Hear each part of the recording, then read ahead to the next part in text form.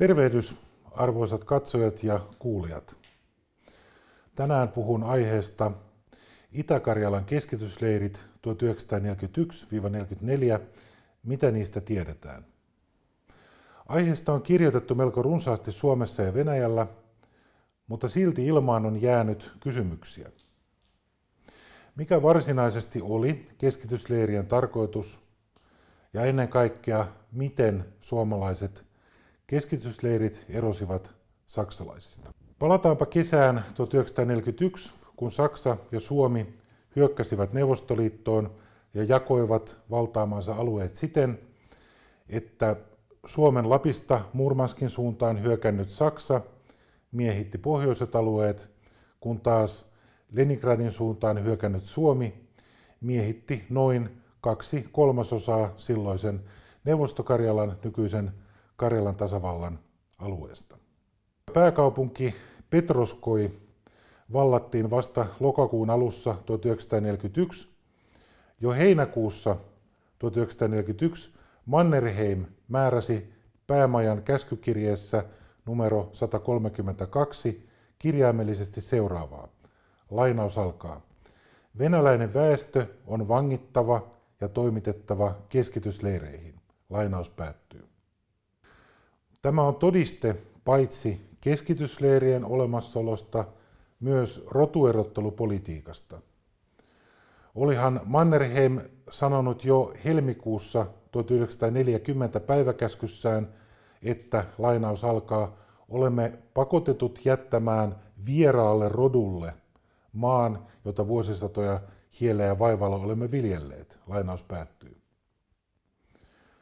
Suomi miehitti Itä-Karjalassa alueita, jotka eivät olleet koskaan kuuluneet itsenäiseen Suomeen, mutta ne aiottiin liittää tulevaan Suur-Suomeen, jonka oli tarkoitus ulottua nykyisen Norjan, Venäjän, Ruotsin, Viron ja Latviankin alueelle.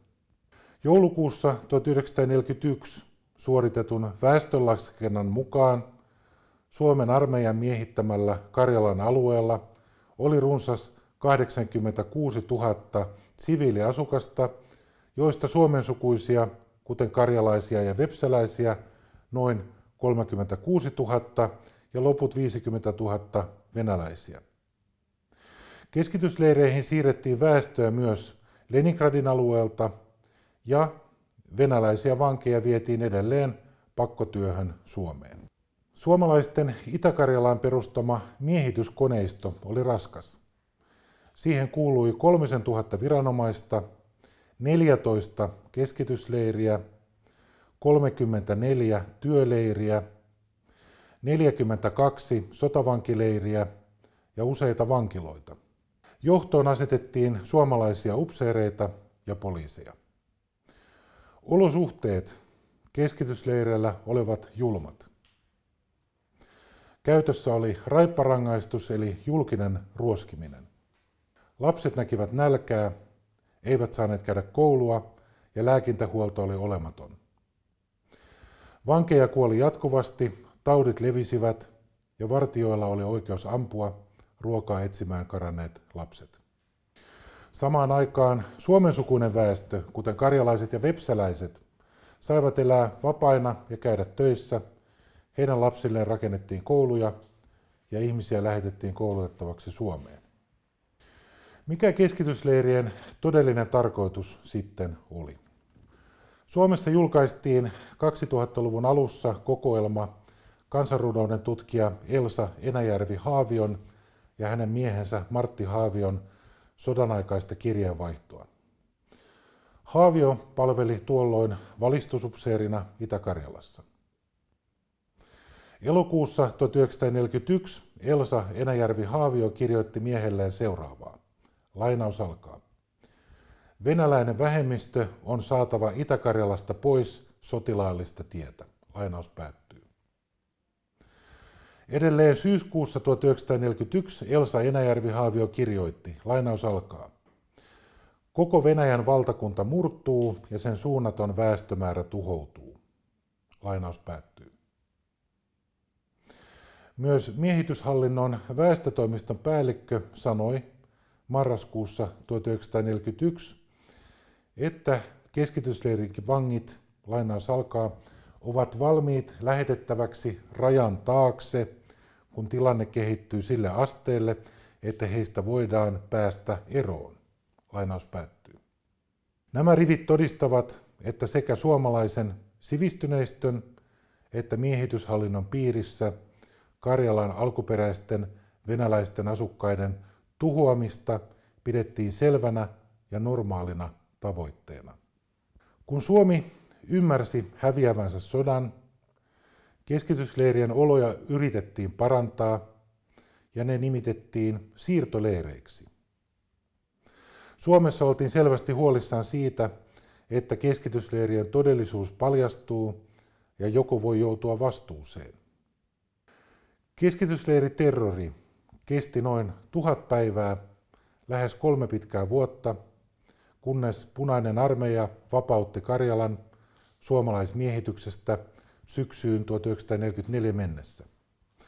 Vasta tuolloin keskitysleirien todellinen tilanne alkoi paljastua, kun Neuvostoliiton asettama erikoiskomissio alkoi kerätä todisteita miehitysajan rikoksista, tarkoituksena asettaa syytteeseen suomalaiset vastuuhenkilöt.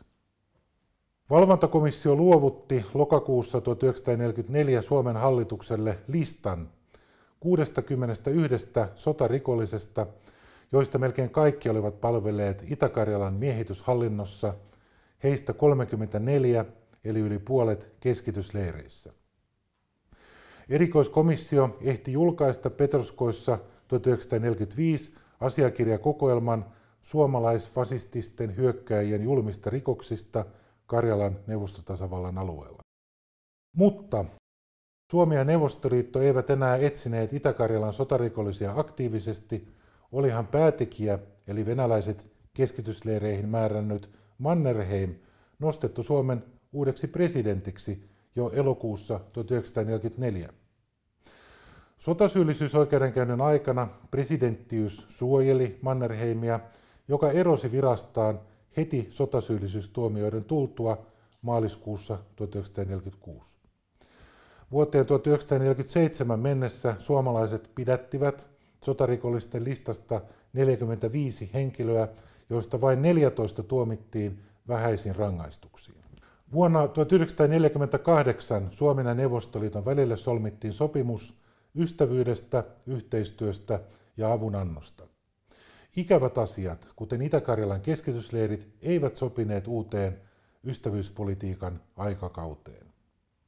Itä-Karjalan keskitysleirikysymyksen ympärillä alkoi pitkä hiljaisuus, joka rakoili vasta yli 20 vuoden kuluttua vuonna 1966, kun tämä valokuva Petroskoin keskitysleirien lapsista julkaistiin nimellä Fasismin vangit. Kuvan otti rintamavalokuvaaja Galina Sanko Petroskoissa 28. päivä kesäkuuta 1944, eli heti ensimmäisenä päivänä kaupungin vapautuksen jälkeen. Kuvassa 11 lasta katselee keskitysleirin piikkilangan läpi kameraan. Yläpuolella on kyltti, jossa lukee suomeksi ja venäjäksi siirtoleiri, pääsy leirille ja seurustelu aidan läpi ampumisen uhalla kielletty. Kuva todistaa monesta kiistämättömästä asiasta. Keskitysleireissä pidettiin lapsia ja heidät uhattiin ampua. Galina Sankon mestariteoksesta on tullut ajaton ja tärkeä sodan ja fasismin vastainen symboli eri puolilla maailmaa, myös irrallaan Itä-Karjalan paikallisista tapahtumista, kirjoittaa petroskoilainen toimittaja Armas Marsin. Myös kuvan henkilöt ovat tunnistettavissa. Oikealla näkyvä pikkutyttö on nimeltään Klavdia Sabalieva, nykyinen Nyppieva, josta tuli sittemmin ensimmäinen keskitysleirien lapsivankien liiton puheenjohtaja ja merkittävä ihmisoikeustaistelija, jonka työ edelleen jatkuu. Ensi vuonna Klavdia Nypieva täyttää 90 vuotta. Samoihin aikoihin aloitti Suomessa laulajan uraansa kaikkien suomalaisten tuntema Viktor Klimenko. Hän oli syntynyt Petroskoin keskitysleirillä marraskuussa 1942, mutta pelastunut kuin ihmeen kaupalla Suomeen. On mahdollista, että Klimenkon ihmepelastuminen vaikutti hänen taiteeseensa, jonka pääideana on tuoda venäläisyyttä rohkeasti ja positiivisesti esiin suomalaisille. Samaan aikaan tutkijanuraansa aloitteli Hannu Rautkallio, josta tuli tunnettu sotahistorioitsija ja erityisesti presidentti Kekkosen kriitikko. Rautkallio liittyi Itä-Karjalan keskitysleireihin siten, että hänen isänsä Paavo Kallio oli Petroskoin keskitysleirin komendanttina ja mukana sotarikollisten listalla pidätettiin ja tuomittiin vankeuteen.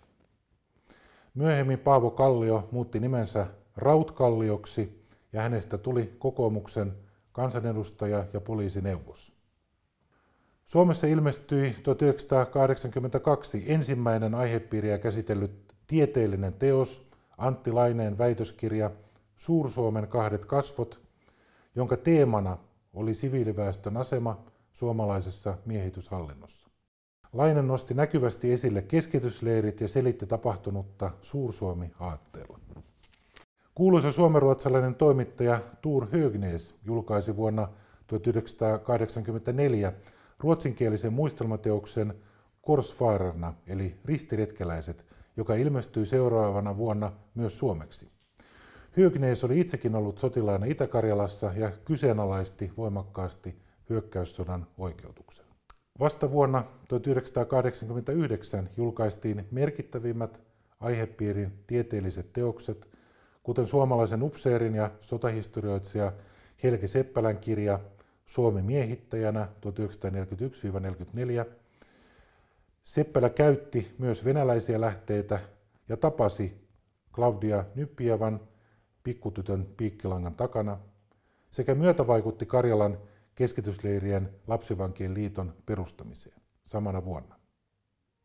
Seppälä oli itse ollut keskitysleirin vartijana Petroskoissa. Samana vuonna 1989 ilmestyi myös Jukka Kulomaan tutkimus Petruskoen miehityksestä. Vuonna 1995 julkaistiin toimittaja Liisa Hovinheimon dokumenttielokuva Suursuomen toiset kasvot, jossa myös haastateltiin entisiä keskitysleirivankeja. Asiaa pidettiin Suomessa edelleen esillä, kun monesti palkittu ja merkittävä suomalainen kirjailija ja suomentaja Marja-Leena Mikkola julkaisi vuonna 2004 teoksen Menetetty lapsuus suomalaismiehittäjien vankeudessa 1941-1944, joka sisältää 16 silminnäkijätodistajan kertomukset keskitysleireistä. Useita muistelmakirjoja ilmestyi myös Venäjällä. Vuodesta 2019 lähtien Venäjällä julkistettiin runsaasti miehitysajan rikoksia käsitteleviä asiakirjoja, esimerkiksi yli 4000 Itä-Karjalan miehitysaikaa käsittelevää erikoiskomission aikanaan kokoamaa asiakirjaa poistettiin salauksesta. Ne kertovat yksityiskohtaisemmin karua kieltään keskitysleirien oloista. Ihmisiä nääntyi joukoittain nälkään ja pakkotyöhön, lääkintähuoltoa ei ollut, vankeja ruoskittiin, toisena vankeja myös lapsia ammuttiin mielivaltaisesti. Myös naiset joutuvat usein seksuaaliväkivallan kohteeksi. Professori Sergei Virigin totesikin, että suomalainen miehityshallinto oli osin saksalaistakin julmempi, mikä ilmeni vankien määrässä suhteessa väestöön ja erityisesti vuoden 1942 kuolleisuudessa. Keskitysleirivangeista kuoli kolmannes, yhteensä noin 7 000-14 000 ihmistä, mutta koska suomalaismiehittäjien kirjanpito oli leväperäistä, vieläkään ei tiedetä kuolleiden tarkkaa määrää eikä lapsivankien osuutta. Petroskolainen politiikan toimittaja Anatoli Tsigankov kirjoitti hirjattain seuraavaa. Lainaus alkaa. Suomalaisten täytyy ymmärtää, mitä heidän isoisänsä tekivät Karjalassa. Jos suomalaisella yhteiskunnalla on mitään historiallista muistia, Suomen nykyiset valtiomiehet ja naiset eivät ehkä ajaisi Venäjä vastaista sotaa yhtä aggressiivisesti. Lainaus päättyy. Keväällä 2020 Venäjän tutkintakomitea nosti Suomea vastaan syytteet kansanmurhasta Itä-Karjalan keskitysleireillä. Kun asia etenee oikeuteen ja tuomioon, presidentti Alexander Stubbilla on pöydällään kansanmurhatuomio ja korvausvaatimus.